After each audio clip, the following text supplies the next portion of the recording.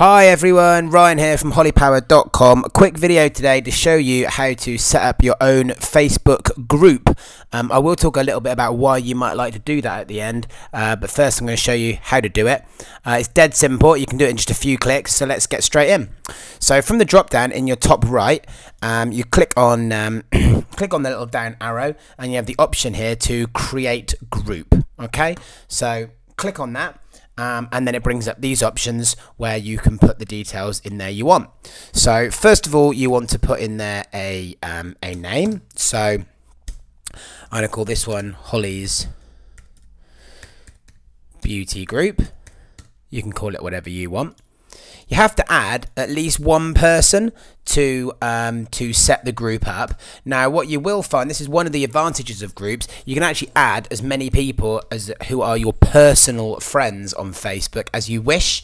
You cannot add people who like your business page, but you can add as many as you want from your own personal friends list. You must add at least one, so I'll add Holly. Um, and then you need to choose the privacy of the group. So you've got three choices. You can either have a public group, which means it's available to anybody, anyone can see what's in there, and anyone can see anything that's been posted.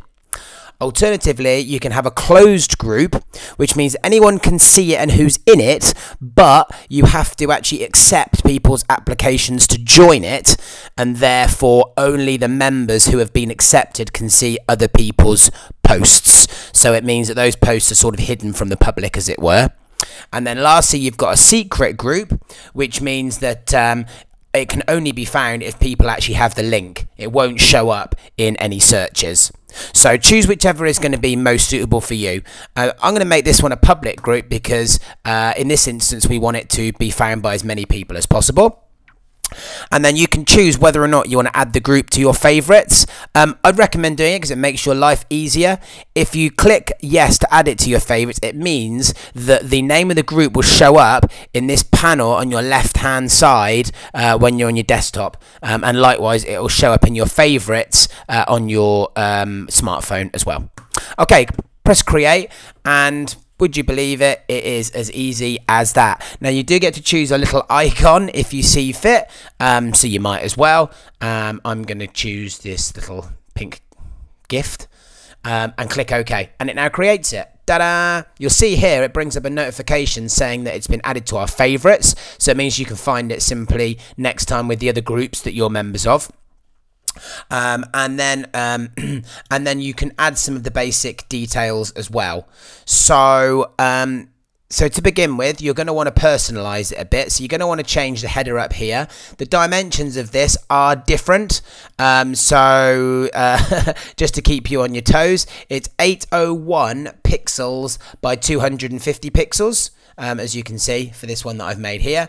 And you can make these using Canva is how I made that particular one. Uh, that took me about two seconds as you can see.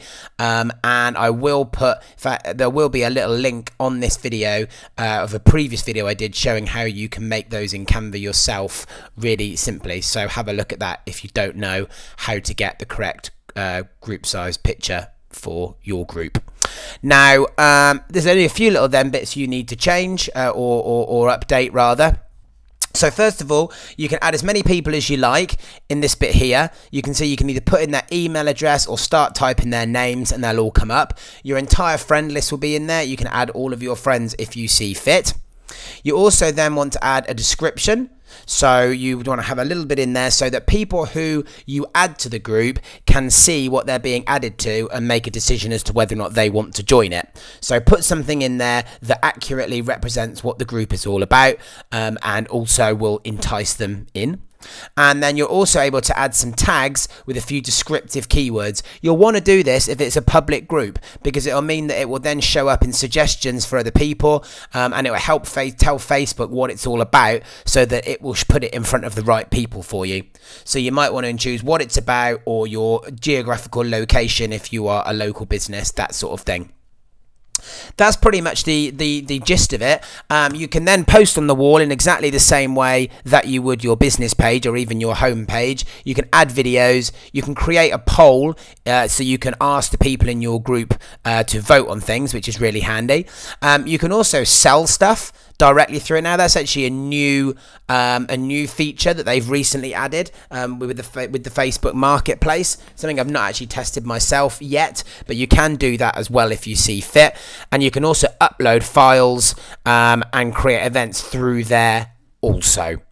So that gives you a quick overview of how to set up a Facebook group. I hope that's been helpful. Uh, if it has, please subscribe to our channel. As I say, I will put the other links as well in the uh, in the comments section of the other videos, which I think will be useful. And uh, if you've got any questions, put them in the comments. Have a great day. I'm Ryan. This is HollyPower.com. All the best. Oh, actually, one thing I did say I would cover and I haven't is why you would want to have a Facebook group. Um, it's really really useful to have in association with your business small business page. Um, the reasons why is because you'll actually get far more interaction with your fans um, than you will on your facebook page. It's much more of a forum feel to it. Um, other people can post in it which is really good so you get really good interaction in there. If you want you can set it change the settings so that you choose whether or not other people can post or whether or not you've got to approve those posts first which you might want to to do if you find that lots of people are spamming your group um, and just self promoting in there. In addition, what you'll find is Facebook love groups as well, so that when you post, it will get seen by more people than if you post on your small business page. On your small business page, you might be lucky to get 10 or 20% of the people who like your page actually see your posts. Um, you can expect much, much, much higher numbers with groups. Uh, we've experienced anything up to 40 or 50% of the members will actually see each of your posts, so you can get a much, much bigger reach. Um, and as I say, create a more community feel. Uh, so it's something that Facebook are pushing, um, and also at the moment, it's also really good for your uh, the people in there um, because they don't see any adverts. So people like to hang around in the groups and comment and feel like they're part of the community uh, without getting advertised to. Uh, that's probably going to change, I would imagine, quite soon. Facebook probably will start allowing adverts in there soon, um, but at the moment they don't. So it's uh, it's a really good place for everyone to hang out. So that's the uh, why. I've shown you the how. That's Facebook groups. I was Ryan. You have a good day. Bye now.